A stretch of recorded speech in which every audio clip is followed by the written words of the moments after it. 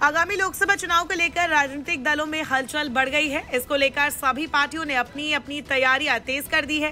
इस बीच महाराष्ट्र में शिंदे गुट ने दो मौजूदा सांसदों के टिकट काटे हैं, जिसके बाद से ही सवाल ही उठ रहा है कि क्या उनके इस कदम से पार्टी नेताओं में नाराज़गी बढ़ गई है। इसको लेकर कैबिनेट मंत्री शंभूराज देसाई ने बयान देते हुए कहा कि हमारी पार्टी में किसी प्रकार की कोई भी नाराज़गी नहीं है। जो भी कदम उठाए गए हैं, वो संबंधित नेताओं से बातचीत करने के बाद उठाए गए हैं। इतना ही नहीं, जब देसाई से सवाल किया गया कि बीजेपी का अपना सर्वे है, इसीलिए वो क्या शिंदे सेना पर दबाव बना रही है?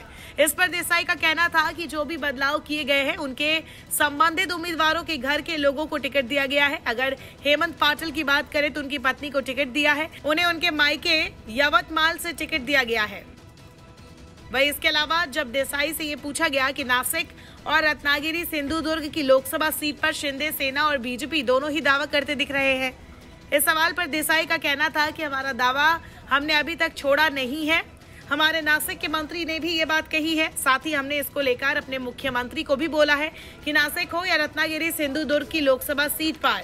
पिछली बार हमने चुनाव लड़ा था, इसीलिए इस बार भी हमें ये दोनों सीट लड़नी है। ये बात हमने मुख्यमंत्री के सामने रखी है। इस बारे में फैसला लेने के लिए हमने अपने सभी अधिकार, अपने नेता एक शिंदे को दिया है।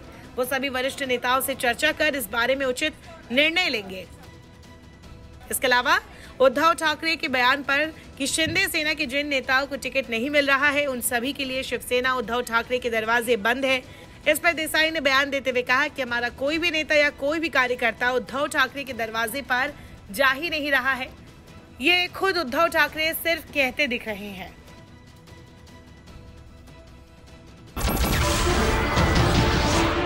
नमस्कार, मैं हूँ मानक गुप्ता।